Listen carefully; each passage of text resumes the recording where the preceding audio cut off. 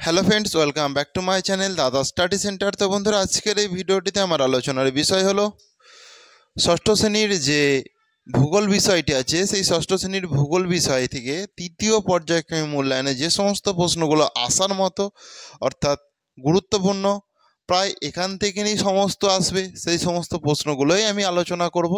তো তোমাদের আবার বইয়ের পেজ নাম্বারও পাশে দিয়ে রেখেছি, তোমরা প্রত্যেকে লক্ষ্য রাখবে। তো দেখো তোমাদের সব থেকে যেটা গুরুত্বপূর্ণ প্রশ্ন, এক নম্বরে আছে দেখো এখানে। পৃথিবীর অক্ষ পৃথিবীর অক্ষ কি? পৃথিবীর কক্ষপথ কি? পৃথিবীর কক্ষতল কি? কি বা কাকে বলে? এই প্রশ্নগুলো যখনই বলবে, তখন তোমরা মানে কি বললেও যা লিখবে, কাকে বললেও তাই একই লিখবে সংজ্ঞা বললেও এক লিখবে। এটা হচ্ছে তোমাদের বইয়ের কুড়ি নাম্বার পেজ আর একুশ নাম্বার পেজের মধ্যে আছে। এখানে তিনটে প্রশ্ন আছে। হয়তো বলতে পারে পৃথিবীর অক্ষ বলতে কি বোঝো? পৃথিবীর কক্ষপথ বলতে কি বোঝো? পৃথিবীর কক্ষ তল বলতে কি বোঝো? এইভাবে আসবে বন্ধুরা। তো এরপর দেখো, তোমাদের দু নম্বর প্রশ্নটা ভালো করে দেখে নাও যে, মহাবৃত্ত বলিতে কি বোঝো? মহাবৃত্ত বলিতে কি বোঝো? এটা হচ্ছে তোমাদের বইয়ের বাইশ নাম্বার পেজে আছে, ওকে? এরপর তোমরা প্রত্যেকে তিন নাম্বার প্রশ্নটা দেখো। উষা ও গোধূলি কি? উষা ও গোধূলি কি?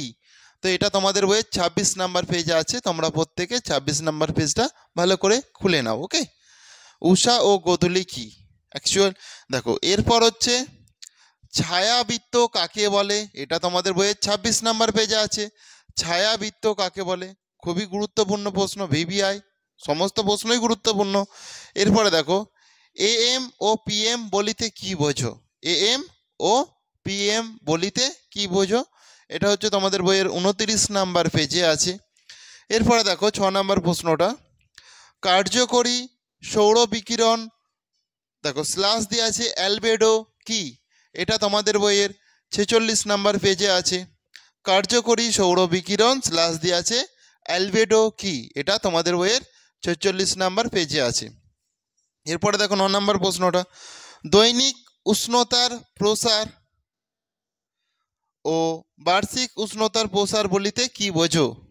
প্রসর, প্রসার, ঠিক আছে? দৈনিক উষ্ণতার প্রসার ও বার্ষিক উষ্ণতার প্রসার বলিতে কি বোঝো? ক্লিয়ার তো তোমরা এটা প্রত্যেকে ভালো করে করে নিও। এরপরে দেখো, আট নম্বর প্রশ্নটাতে যেটা আছে, বায়ুর আর্দ্রতা ও ঘনীভবন বলিতে কি বোঝো? বায়ুর আর্দ্রতা ও ঘনীভবন বলিতে কি বোঝো?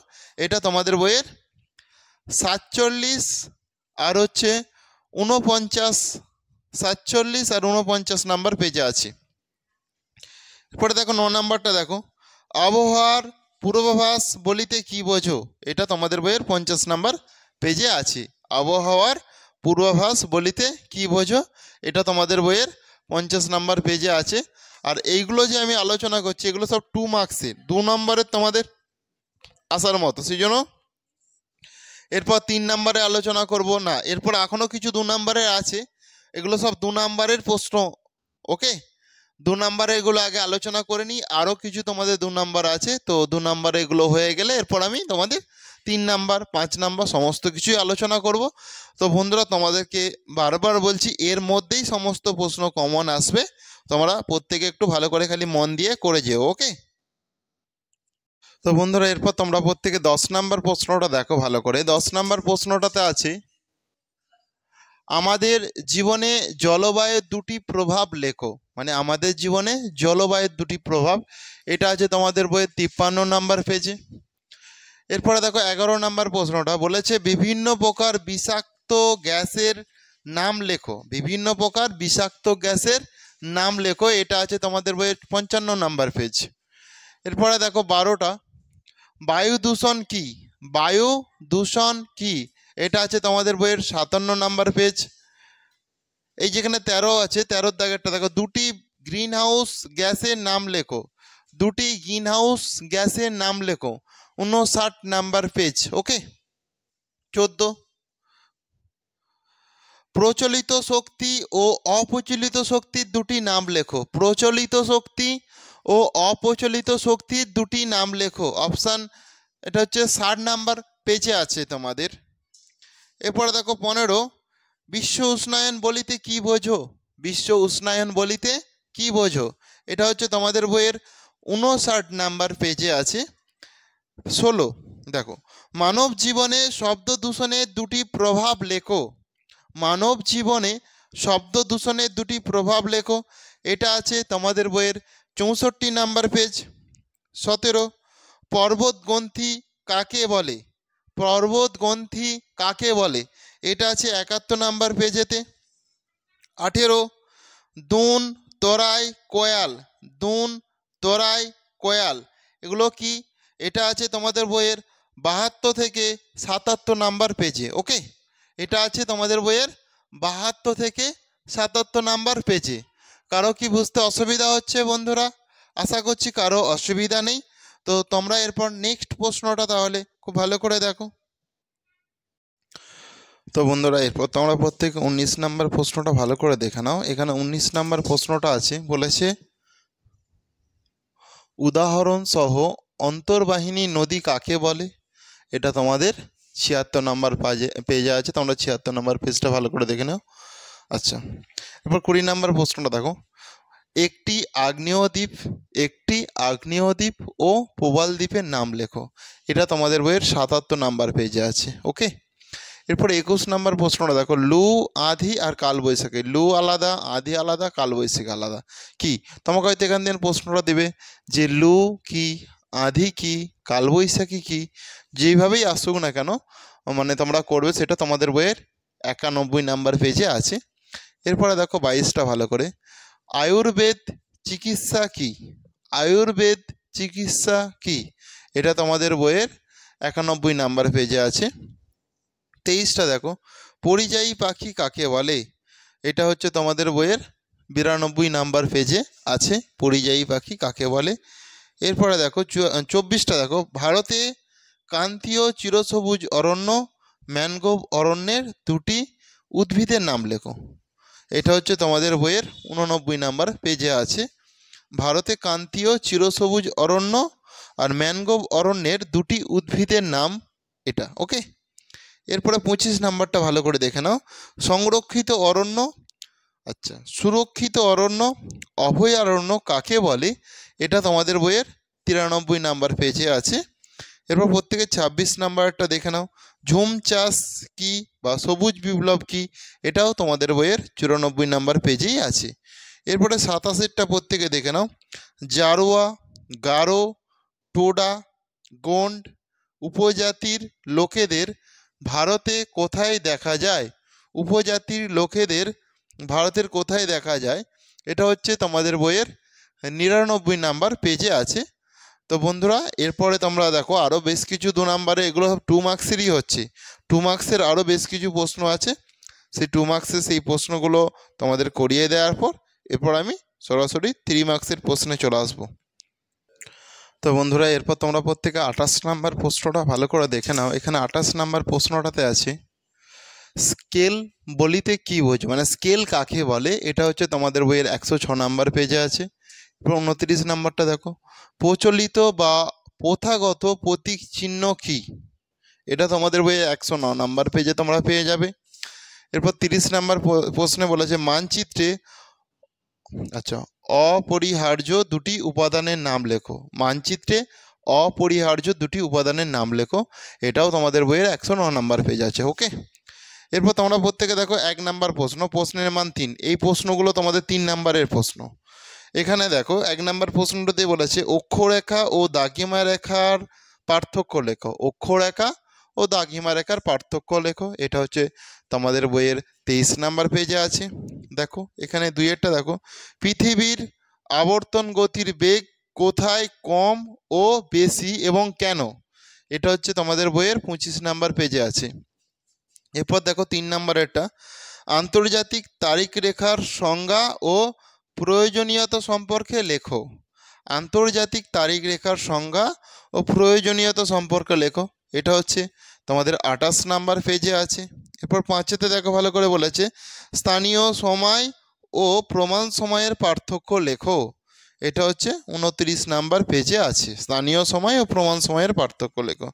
পাঁচ নাম্বার প্রশ্ন দেখো, আবহাওয়া ও জলবায়ুর পার্থক্য লেখো, এটা তোমাদের বইয়ের পঁয়তাল্লিশ নাম্বার পেজে আছে।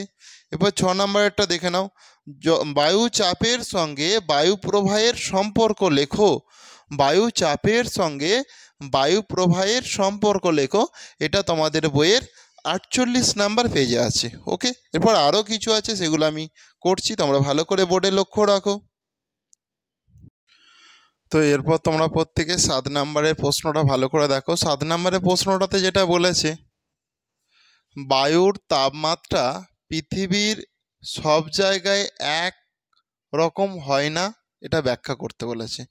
যে বায়ুর তাপমাত্রা তো পৃথিবীর সব জায়গায় আর একরকম হয় না, সেটাই ব্যাখ্যা করতে বলেছে। এটা হচ্ছে তোমাদের বইয়ের একান্ন নাম্বার পেজে রয়েছে। এরপর আটেরটা ভালো করে দেখো। সমষ্ণ রেখার সংজ্ঞা ও বৈশিষ্ট্যগুলো লেখো।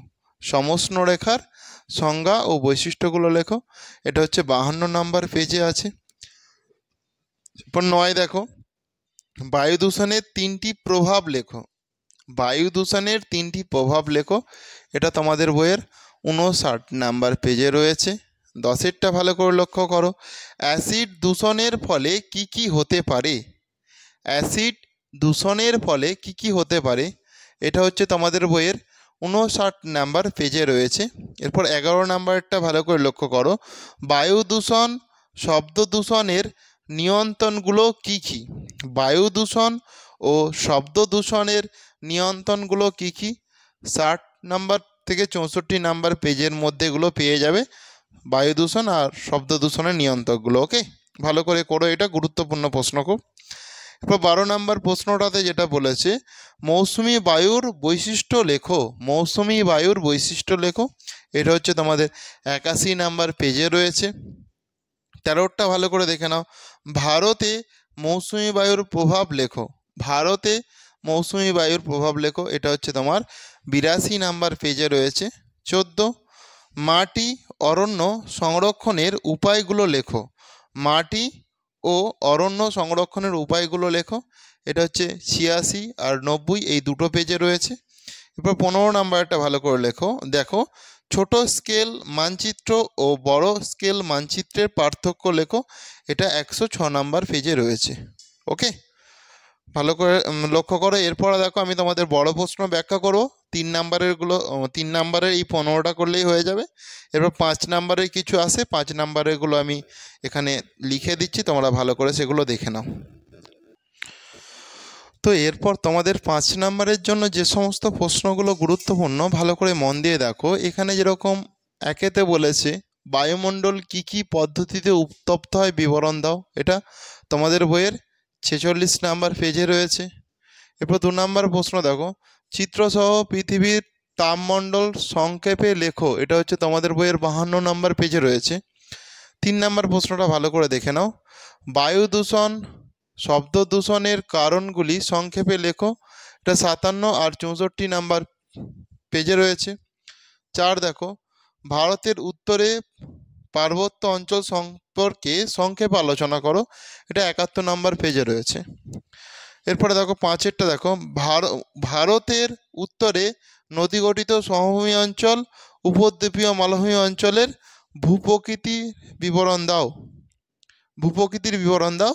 এটা হচ্ছে তোমাদের বইয়ের বাহাত্তর থেকে পঁচাত্তর নাম্বার পেজে রয়েছে। বাহাত্তর নাম্বার পেজ আর পঁচাত্তর নাম্বার পেজ ওকে এরপরে দেখো, ছয় নাম্বার প্রশ্নটা, গঙ্গা নদীর উৎপত্তি ও প্রবাহ পথ সংক্ষেপে আলোচনা করো। এটা হচ্ছে তোমাদের বইয়ের তিয়াত্তর নাম্বার পেজে রয়েছে। এরপর সাত নাম্বার প্রশ্নটা দেখো, অরণ্য আমাদের বন্ধু, ব্যাখ্যা করো, এটা তোমাদের বইয়ের নব্বই নাম্বার পেজে রয়েছে। আর আট নাম্বার প্রশ্নটা দেখো, ভারতে গম, তুলা, চা চাষের জন্য প্রয়োজনীয় জলবায়ু, মাটি এবং উৎপাদক রাজ্যগুলির বিবরণ দাও। এটা পঁচানব্বই আর ছিয়ানব্বই পেজে তোমরা পেয়ে যাবে। তো বন্ধুরা, আজকের ক্লাসটা তাহলে আমি এখানেই শেষ করলাম। তোমরা এই সমস্ত প্রশ্নগুলো করে যাও। আশা করছি এর মধ্যেই সমস্ত প্রশ্ন তোমরা কমন পেয়ে যাবে। দু নাম্বার তিন নাম্বার আর পাঁচ নাম্বারের তো প্রত্যেকে ভালো থেকো। ক্লাসটা যদি সবার আগে পেতে চাও, অবশ্যই চ্যানেলটিকে সাবস্ক্রাইব করে পাশে থাকা বেল আইকনটি বাজিয়ে নোটিফিকেশান অল করে দাও। তো থ্যাংক ইউ বন্ধুরা, আসছি তাহলে পরের ক্লাসে আবার দেখাবে।